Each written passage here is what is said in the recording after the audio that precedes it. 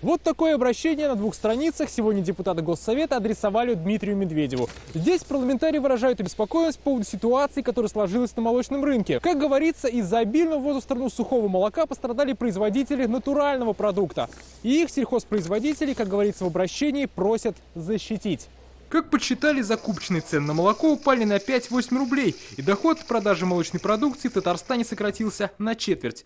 И здесь для урегулирования ситуации, по мнению депутатов, нужны меры федерального правительства. Рассмотреть возможности проведения государственных закупочных интервенций в отношении молочной продукции, а также дать поручение соответствующим структурам по усилению контроля за соблюдением тарифной квоты в отношении молочной продукции и повышению эффективности работы по выявлению фальсифицированной некачественной молочной продукции на потребительском рынке. Депутаты это обращение поддержали. Чтобы федеральное правительство защищало собственного товаропроизводителя, собственного товаропроизводителя, может быть, даже путем государственных интервенционных закупок этой продукции, как делали когда-то на зерно, помните?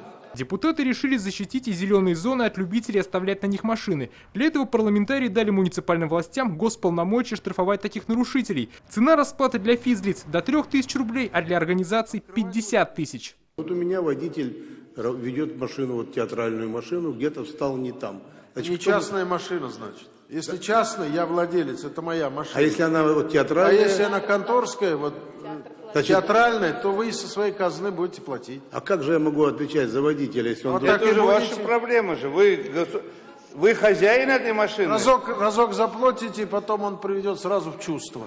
Вдобавок из мер наказания решили исключить санкцию предупреждения. Слово это самое убираемое. Предупреждение. Убираем? Я думаю, это логично. Все. Тогда Раз я полностью, полностью присоединяюсь к вам, Фарид Хайрулович, без в русле этого законодательного новшества правительству республики и муниципалитетам адресовано предложение разработать программу создания дополнительных парковок, чтобы появились места, где можно будет законно оставлять машину. Чтобы они серьезно занялись этой проблемой и сделали программу, которая будет финансироваться и делаться, в том числе и за счет пополнения бюджета за этих штрафов местных бюджетов. Законодательную инициативу Артема Прокофьева большинство депутатов, напротив, отклонили. Коммунист предлагал ввести прямые выборы местной власти в крупных городах и районах. Сложившаяся в республике система исходит из необходимости соблюдения принципа поддержания доверия граждан к закону и действиям государства – предполагающего сохранение разумной стабильности правового регулирования и недопустимость внесения произвольных изменений в действующую систему норм. Всего депутаты сегодня рассмотрели свыше 30 вопросов, в том числе заслушали доклады уполномоченных по правам человека и защите прав предпринимателей. Дмитрий Айринин, Андерсон Тальцев, ТНВ, Казань.